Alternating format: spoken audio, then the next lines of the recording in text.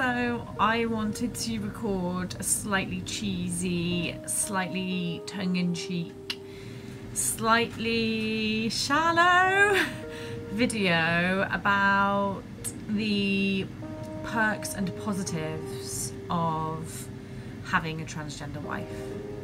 Um, I'm going to start off with the kind of shallow stuff but funny stuff, the stuff that we think um, is funny but also really good.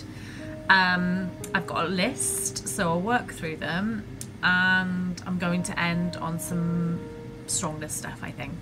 So the first perk when you um, start to embrace and once you discover your transgender wife is makeup.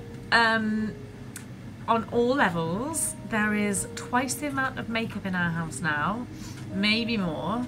Um, she will sometimes do my makeup, I can sometimes do her makeup. We practice that together. It's fun. It's like having um, that kind of teenage friendship.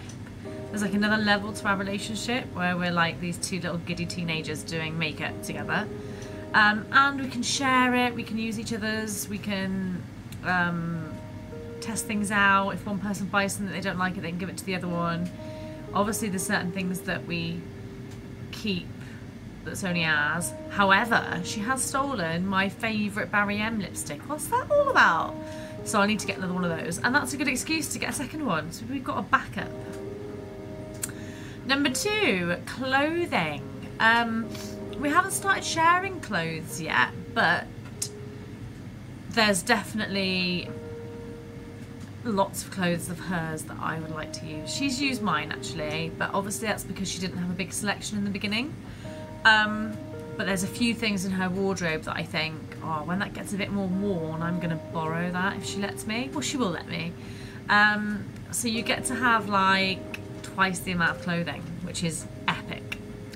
Um, the same goes for number three, which is jewellery. There's there's jewellery, um, there's a jewellery expansion happening in our house. Um, I'm currently sporting some that Molly made me today. Um, yeah, there's loads of jewellery now, and that's ever expanding, and I think it will continue to increase. Um, so you've got loads more options, and you can really delve into this kind of like.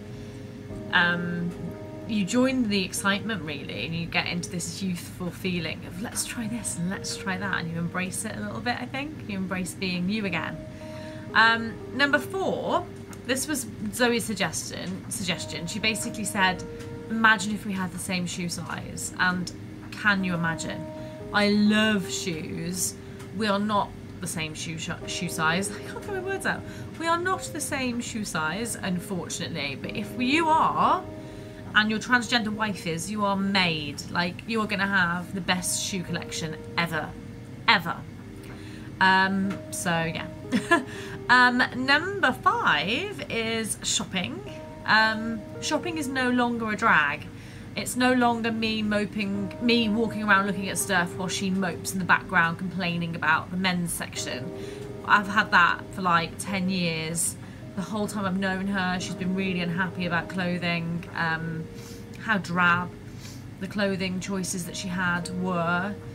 Um, and now she's fun to shop with, although she is still really fussy.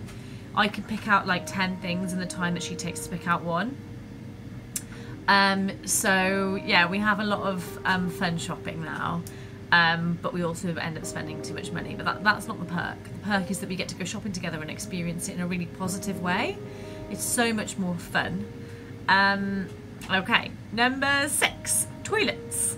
Um, we've got a pretty open door policy in our house, but now when we go out for nights out or we're out uh, events and stuff, we get to spend even longer together by going to the toilets together, which is sounds really sad, but we love being together. And um, you get to do all those little girly things, like you know, sharing a cubicle at clubs and just just feeling like you're in it together, really. And I also I get to protect her because if it was a say if I couldn't go into the women's toilets, um, I wouldn't be able to do that, but I can go in because um, I'm a woman and she goes in because she's a woman and I can protect her and make sure she's okay, which is really, really nice. And we've never had any trouble though, but you never know. So, um, yeah, that's a really, really nice one. Um, number seven um, is all about appreciation because now Zoe is starting to see the world from a woman's eyes fully because she is a woman and she's out there as a woman. Um, she's getting to see things from a female perspective a little bit more. Um, you know, how people treat her, how men treat her, how men treat me and other women. She's she's always seen that anyway because she's never been um, typically kind of one of the guys. She's never really been that person anyway. Um, which again makes me question how did I not know? Um, uh, but um, now she's seeing it a lot more um, in certain situations. So it's like a new appreciation for what um, we both go, are going through, I guess. Um, number eight Beauty Nights and Nails is the title of number eight. Um, we are having a lot more time taking care of ourselves, a lot more time putting face masks on and painting each other's nails, a lot of time just um, appreciating who we are and being kind to each other, really. Foot rubs and just loveliness, just this reconnection. Not that we didn't do those things before, but they're just a lot more um, reoccurring now. Um, I really like that. I love I love that she wants to paint my nails and that she wants me to paint hers and stuff. It's like this different, another level of connection again. It's just really lovely. Um, number nine, it's getting deep now. Okay, we've had all the frivolous ones and all the shallow ones that are still cool but a bit shallow, a bit cheesy.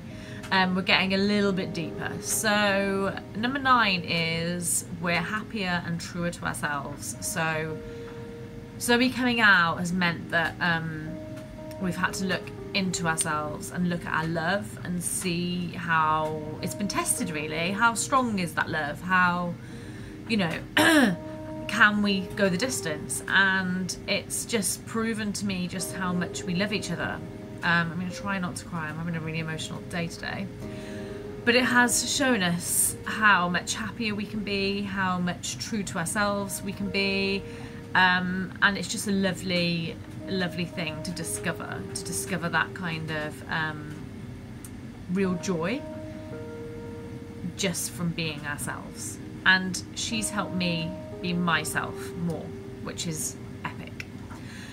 Okay, number 10 discovery of people. This could sound negative, but you truly discover who your friends are, and that can include family as well. You discover who's going to go the distance with you you discover who isn't as well. And you could see that as a negative, but it's better that you know early on. Things might change. I get it. Things might change. People may, may change their minds about things and start being more accepting, but they might not. And if you know from the beginning, which you do with a subject like this, people show their colours like straight away.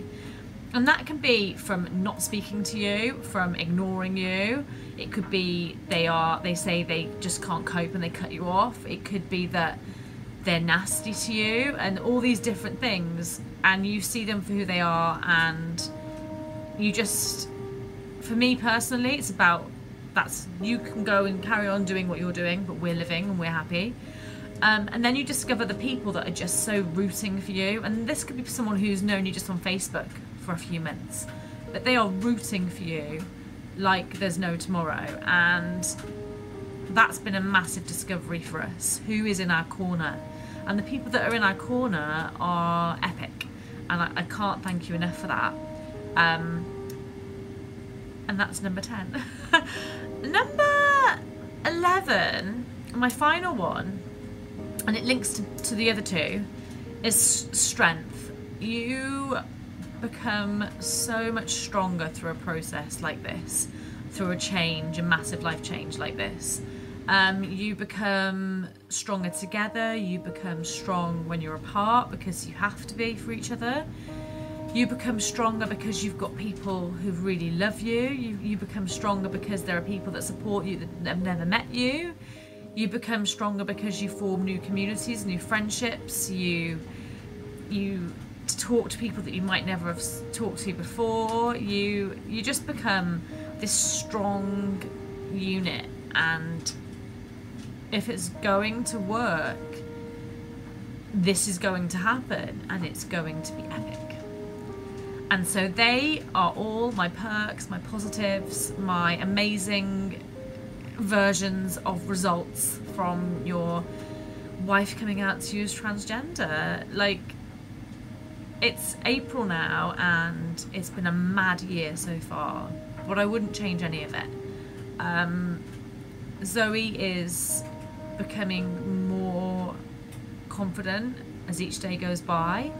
She still has her struggles, she still has a lot to deal with.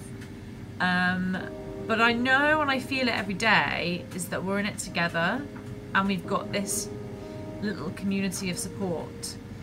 And it doesn't have to be massive. You don't have to have a hundred people supporting you. It could just take one or two. Um, and as long as you've got that and you've got each other, because you might not even have that at first. I didn't feel like we did. I felt like it was just me and Zoe and my mom and the kids. That was enough. It was enough to get us through January and February and it's enough to get us through forever and make sure that we're strong and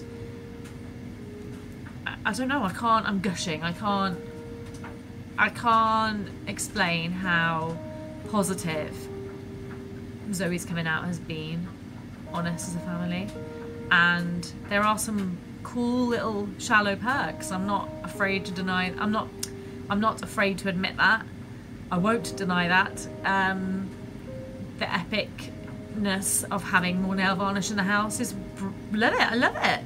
Um, and they're just the little things that are on top of the big things, aren't they? So if you're going through this journey and you're at a point where you can see the light and you you know you're up for a giggle, then this video hopefully will resonate with you. But there's also a deeper section to it as well, and I hope you can see that. Thanks for watching, guys. Bye.